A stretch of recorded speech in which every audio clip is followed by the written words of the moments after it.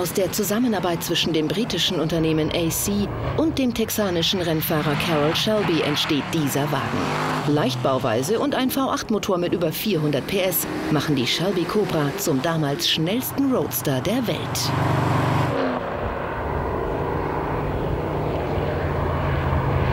Die Kombination, erstmal das Formale, das Auto ist ästhetisch für mich eines der schönsten der Welt. Und zweitens die Kombination mit der brutalen amerikanischen Power. Äh, das musste ich haben. Das ist ein Motorrad auf vier Rädern. Und es gibt kein vergleichbares Auto für mich akustisch und auch formal von der Schöne, von der Ästhetik her und vom Vergnügen des Fahrens. Das Auto bremst richtig, das Auto liegt richtig, es ist beinhart, okay. Aber das, der Fahrspaß, den es vermittelt, ist unvergleichlich. Das 1000 Kilometer Rennen am Nürburgring 1964. Mit dabei der damals 14-jährige Fersen fuhren dahin und standen oben am Flugplatz Ködelbacher Höhe. Äh, Tausende von Menschen, eine irre Atmosphäre. Damals war das das größte Rennen Europas und auch die, die meisten Zuschauer. Und dann sah ich zum ersten Mal in meinem Leben Bob Bondurant auf dem 289er FAE Cobra. Und das Geräusch und die Form des Autos waren so unvergesslich, dass ich gesagt habe, irgendwann mal musst du dieses Auto selber haben. 1973 ist es soweit. Fersen kauft das silberne Kraftwerk zum Preis eines neuen Porsche. Eine gute Entscheidung. Wäre der Porsche heute vielleicht 50.000 Euro wert, ist eine Original Cobra in gutem Zustand nicht unter 400.000 zu haben. Doch Fersen sieht seine Cobra nicht als Wertanlage, die in einer Sammlung verstaubt. Seine Giftschlange soll zubeißen, und zwar regelmäßig. Das Alukleid trägt die Verbreiterungen der unter Kennern bekannten Sebring Cobra, einen massiven Überrollbügel und dicke Speichenräder im Format 6,5 und 7,5 Zoll.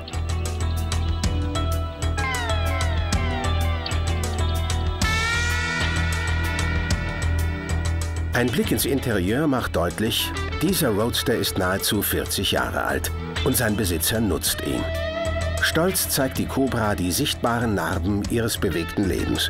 Patina statt überrestauriertem Chrom und Lederglanz. Autos müssen rollen, Autos werden nur dann funktionieren, wenn sie rollen. Wenn sie stehen, stehen sich kaputt. Dichtungen gehen kaputt, Simmerringe werden hart, äh, Filzdichtungen aus den alten Autos verhärten, Öl läuft überall raus. Sie müssen bewegt werden, ganz wichtig. 1962 entstehen unter der Ägide des texanischen Rennfahrers Carroll Shelby die ersten Cobras mit 4,3 Liter großem Ford V8 und 260 PS. Fersens Exemplar, eines der seltenen rechtsgelenkten 289er mit 4,7 Liter Hubraum, gilt als die klassische Cobra. Spätere Modelle haben 7 Liter Big Blocks mit bis zu 425 PS. Auch Rolf Fersen schaut von Zeit zu Zeit unter die Haube seiner Klassiker.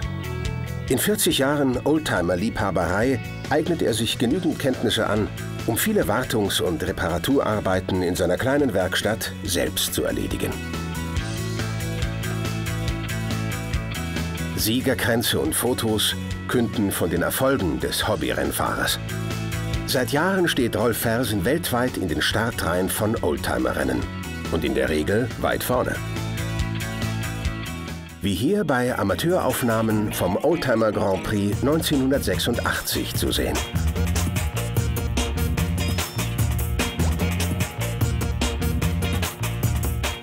Mit die schönsten Läufe waren die alten Oldtimer Grand Prix auf dem Nürburgring. Ganz früh auf der Betonschleife natürlich und nach dem Umbau dann auf dem Grand Prix Kurs.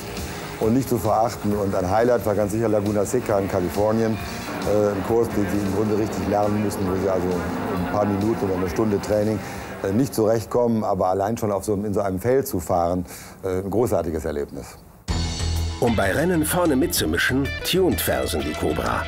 Dank anderer Nockenwellen, modifizierter Köpfe und viel Feinarbeit leistet der Ford V8 satte 370 PS.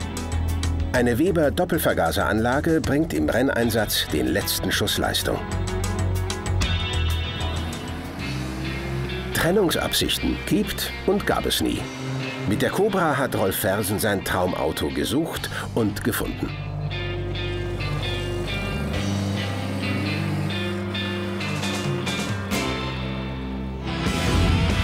Nach 979 Exemplaren ist 1968 Schluss mit dem Original. Doch die Legende lebt weiter, wie hier die Mark VI, Produktionsort Deutschland. Eine gute Replika kostet zwischen 50 und 150.000 Euro. Dafür gibt es moderne Technik und noch mehr Leistung.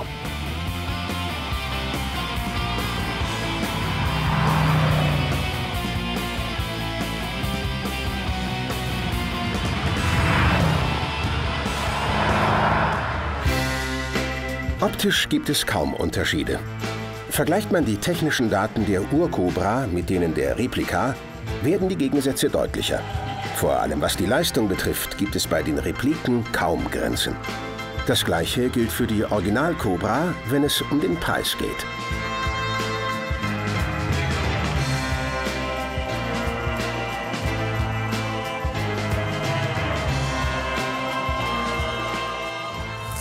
Wir haben hier die sechste Auflage der ursprünglichen Cobra, die 1965 in circa 300 Stücken äh, von Carroll Shelby gebaut wurde. Ähm, nachdem die Produktion relativ schnell vorbei war, äh, haben sich natürlich Leute einen Kopf drüber gemacht, wie kann man dieses Auto in seinem Prinzip, in seinem Konzept lassen, aber eben verbessern. Beispielsweise eine äh, verbesserte, verstärkte Bremsanlage im Vergleich zum Original. Das ist in der Zwischenzeit moderner geworden. Die Technologie für die Stoßdämpfer ist eine, eine viel, viel aufwendigere und viel effizientere, als es früher eben war. Ähm, wir haben auch viel weiter den Motor nach hinten gerückt. Also der, es, ist eigentlich, es handelt sich eigentlich eher um einen Front-Mittelmotor. Ansonsten sind alle charakteristischen Merkmale erhalten geblieben. Die Stoßstangenhörner, dieses Maul, dieses typische Haifischmaul. Wir haben hier Kiemen für Abluft. Der Großteil der Warmluft äh, von dem Riesenmotor da vorne wird hier abtransportiert. Also wie bei der ursprünglichen Cobra 427 haben wir hier diesen Le Mans Tankdeckel, allerdings eben abgeändert bzw. den heutigen Bedürfnissen angepasst, innen drin äh, für die modernen Zapfanlagen auch passend gemacht. Äh, der Heckdeckel in seinen Dimensionen ist exakt so, wie es eben beim Original damals war, allerdings mit außenliegenden Scharnieren. Äh, damit mehr Gepäck reinpasst. Die Scharnier äh, früher hatten innen drin zu viel Platz weggenommen. Wir haben die dezentere Auspuffanlage, das heißt also Unterfluranlage. Die Sportversionen hatten sie in aller Regel per Sidepipes links und rechts am Fahrzeug montiert. Äh, das ist auf kurz spektakulär, aber auf Dauer ermüdend, was die Lautstärke angeht. Hier haben wir den sehr typischen Cobra Überrollbügel, also oftmals nur fahrerseitig gewählt. Das hat nichts mit Diskriminierung zu tun. In aller Regel ist es eben ein Fahrerauto. Ähm, von seiner Funktion her hm, bringt er natürlich nur dann was, wenn man sich sehr gewissenhaft anschnallt und mit Hosenträgergurten äh, und betet noch dazu. Ja, das wäre ganz sinnvoll. Hier kommen wir zum Motor, dem Kernstück der Cobra.